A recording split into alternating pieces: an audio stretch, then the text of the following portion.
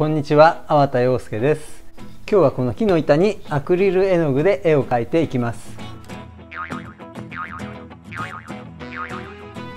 今日用意するものはこの紙やすりとジェッソという定着剤です。今日やることは木の板に絵が描けるようにしてそして絵を描いてでその後は絵を壁にかけられるようにしていきたいと思います。アクリル絵の具はいろんなものに描くことができるんですけど前にも動画で紹介してるんですけどおすすめなのが紙キャンバス木などがいいと思います。ガラスとかプラスチックとか金属にも描けるんですけどそういうツルツルしたものだと剥がれやすいです。その点木とかキャンバスとか紙っていうのは引っかかりがあるので絵の具が定着するというわけです。それにしてもこの木ちょっと毛羽立ってる感じなんで紙やすりをかけていこうと思います。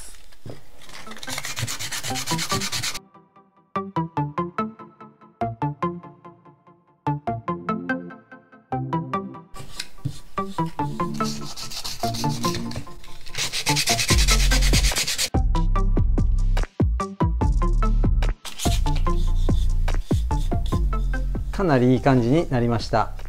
ここがあんまりねザラザラデコボコしてると絵もザラザラだったりデコボコだったりになってしまいますのでスムーズにします。で次はこの面にジェスを塗っていきます。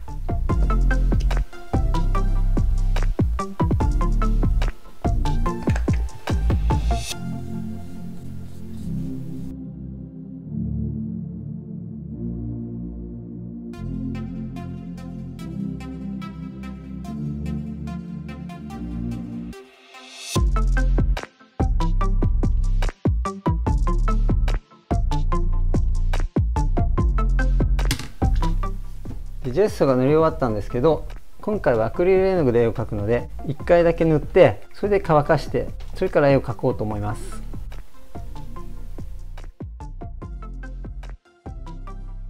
木目がいい感じに出てますね。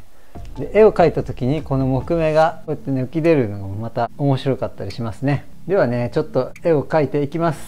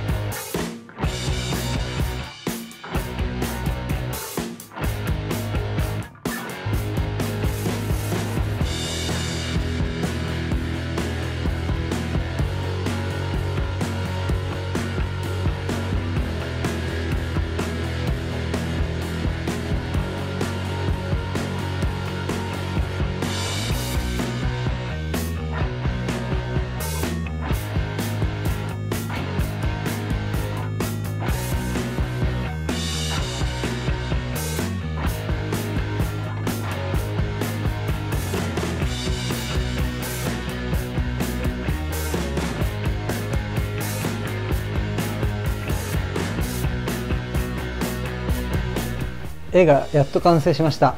で木の板にアクリル絵の具で描くという作業は終わったんですがここからはですねちょっとこの絵を飾れるようにしていきたいんですけど私がいつもやっている3つの工程を紹介したいと思います。その前にちょっとこれ乾かします。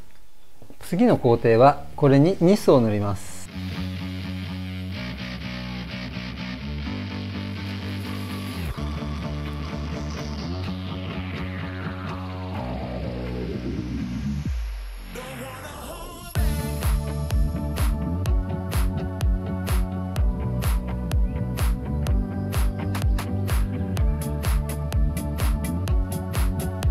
ニスも乾きましたので次はこの裏にですねフェルトを貼ります。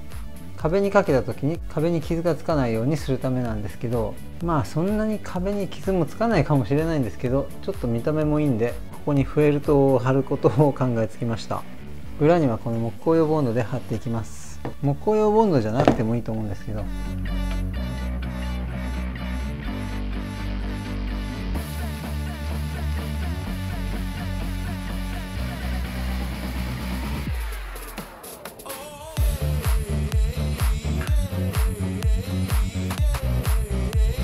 でこの余分な部分をハサミで切っていきます。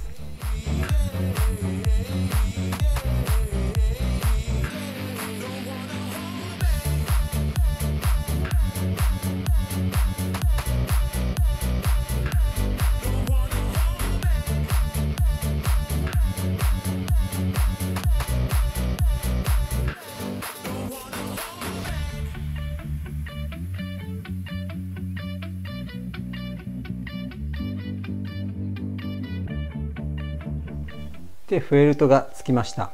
でこっちが表になります。絵にこうやってね木目がこうやって入ってます。で次は紐をつけていくんですが今日はこういう金具を2つ。なんかねこの紐が最初から縛ってあるやつがあったんでちょっとこれこれ縛ったままくっつけたいと思います。こういうの2つとネジ2つですね。ここに引っ掛けようと思います。大体このぐらいのところにつけようと思います。これ5分ぐらいかな。これはねペンキのヘラなんですけどちょっとね測るのめんどくさいんでこれで目印にして木ネジですね。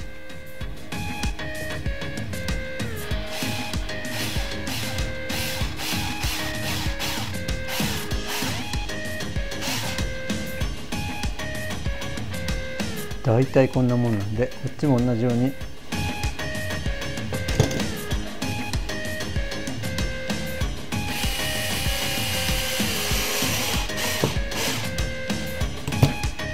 そしたらこっちは結んであるんでこっちだけ結べばいいわけですね。こんな感じにします。